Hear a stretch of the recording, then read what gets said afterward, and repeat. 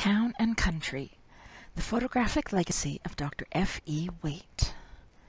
Dr. Frederick Elmer Wait was born October 4, 1897, in Arden, Manitoba.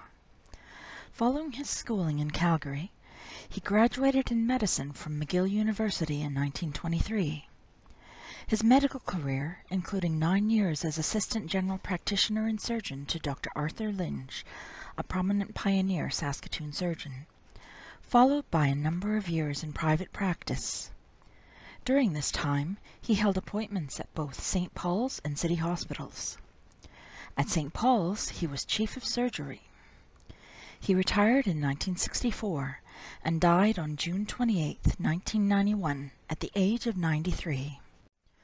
A member of the Saskatoon Camera Club, Dr. Wait had a special flair for photography. His eye for spectacular visual effects and his innate creativity enabled him to capture myriad images of great artistry. Many of them depict stunning, dramatic scenes of Saskatoon and the prairies. Dr. Wait also roamed far beyond this region to capture a spectrum of subjects that included portraits, architecture, still life, animals and plant life, medical sciences, landscapes, cityscapes, and seascapes. Many have been exhibited or published. Almost his entire collection of prints, negatives, and slides was bequeathed to the local history room and acquired following his death in 1991. Recognizing the historic importance and aesthetic value of his work, the Saskatoon Public Library presents this tribute to Dr. Wait, featuring Saskatoon cityscapes, landmark heritage structures, and long vanished vistas, as well as several striking country views.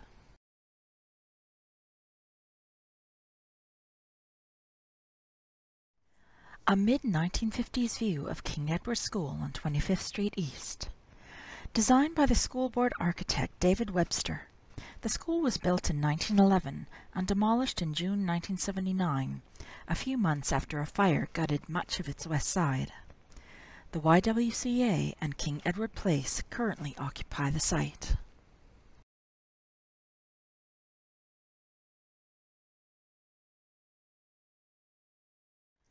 A breathtaking winter view of St. Paul's Cathedral on Spadina Crescent, nestled amidst the lacy branches of trees sheathed in hoarfrost. St. Paul's was built in 1910 by Shannon Brothers and Cassidy. The architect was J. E. Fortin of Montreal.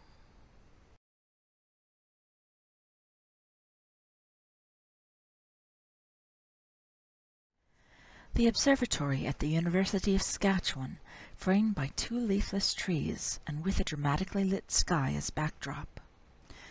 The university's board of directors approved the construction of the observatory in 1929, and it was completed in 1930.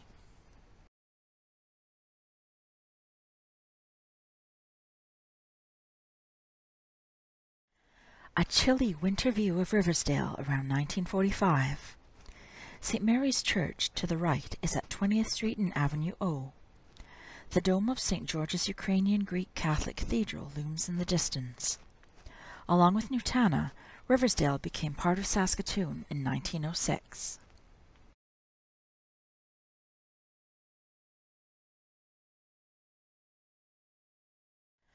A de Havilland Moth biplane perched in front of the Saskatoon Aero Club hangar. The club was formed in 1927 and built this hangar the following year. An August 10, 1928 Daily Star article described it as a new filling station at the air harbor with a big pole that will be visible for miles. It has a windsock on it, painted with black and white stripes, the registered colors of the Saskatoon Aero Club, so that the transient pilot will know where he is.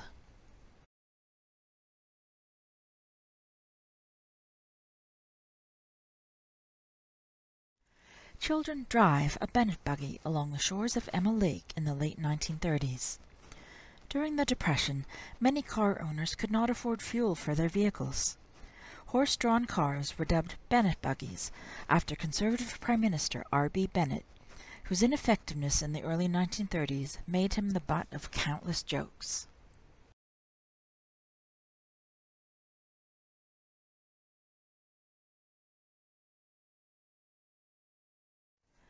Smoke from the AL Cole power plant billows over the CN rail yards and First Avenue and swirls around the overhead pedestrian walkway that linked First Avenue and 20th Street. According to longtime Saskatoonians, the walk over the rail yards was the coldest midwinter walk on earth.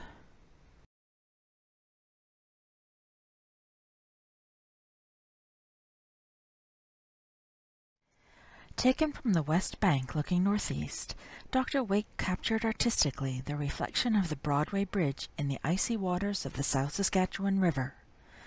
The Broadway Bridge was a relief project of the Depression era.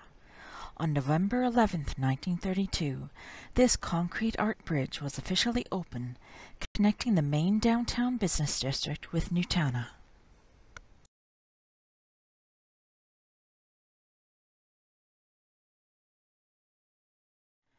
The Thorvaldson Building illuminated against the night sky on the university campus before modern buildings rose up around it. The building opened in 1924. Originally called the Chemistry Building, it was renamed in 1963 in honor of Dr. Thorbergur Thorvaldson, a distinguished chemist and professor who came to Saskatoon around 1919. He was internationally esteemed for his research on the chemistry resistant to alkali corrosion.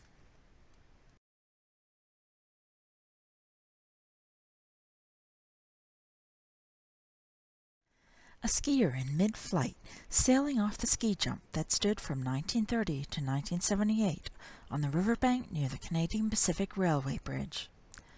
An earlier jump at Devil's Dip on the university grounds was deemed unsafe after its first season.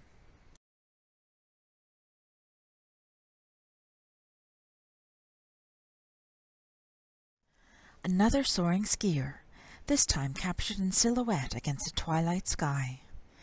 Two other skiers trudge up the jump to await their turn.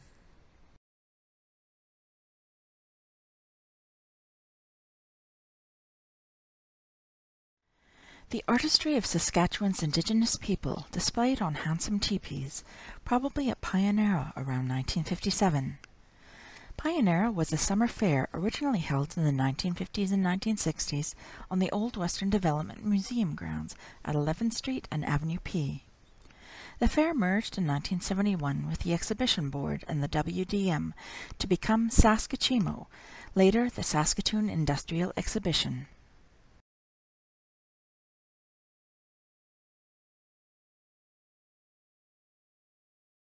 Saskatoon's best-known landmark, the much-photographed Bessborough Hotel, as seen from Saskatchewan Crescent. The Castle of the River was built at the start of the Depression and was completed in 1932. There was no money to run it, however, so it stood empty until December 1935.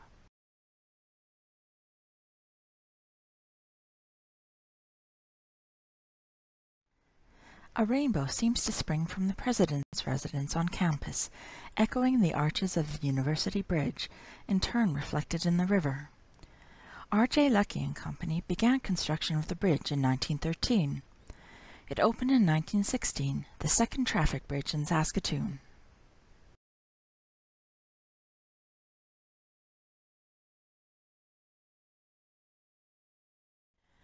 A reverent crowd assembles for a wreath-laying ceremony at the Cenotaph on 21st Street between 2nd and 3rd Avenues. This scene may have been the Remembrance Day services held November 11, 1945, at the close of World War II.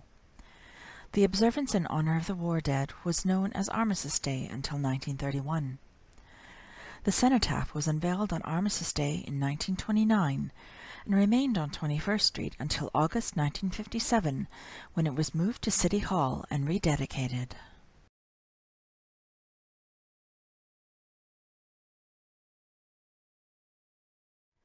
Farmstead on the horizon of a flat prairie landscape.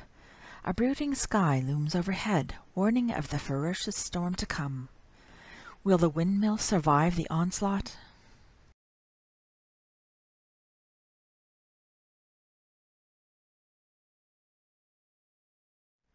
Dr. Wait excelled in smoke and vapor pictures.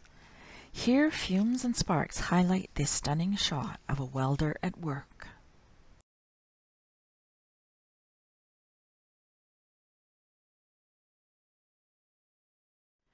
These handsome, old-fashioned street lamps with multiple globes illuminated many streetscapes early in this century.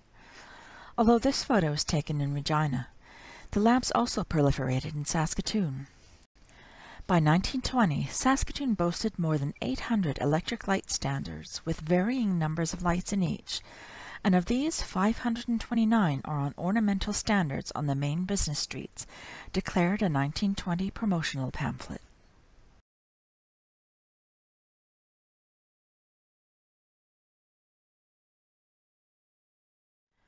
Hoarfrost on the riverbank bushes forms a lacy filigree against mist that obscures the opposite bank. A typical winter vista in and around Saskatoon.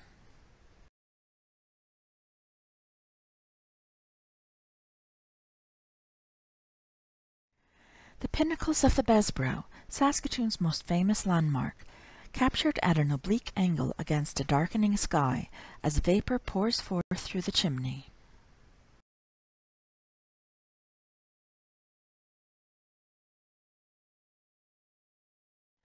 Smoke billows from one of the powerhouses, possibly the A.L. Cole plant, which opened in 1929. The Saskatoon of 1903 had primitive streets, no sidewalks, no drainage, and none of the modern conveniences such as sewers, water, and electricity. The first powerhouse was built in 1906. Increased demand for electricity has resulted in a succession of facilities to serve the city's needs.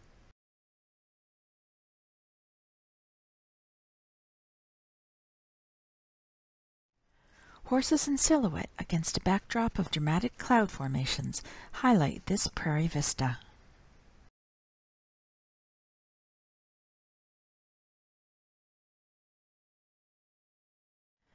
Icicles on the riverbank hang over the dark waters of the South Saskatchewan River.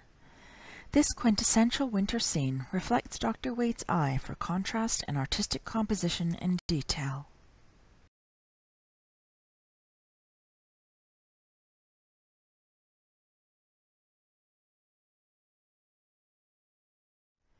We hope you enjoyed our virtual recreation of Town and Country, the photographic legacy of Dr. F. E. Wait.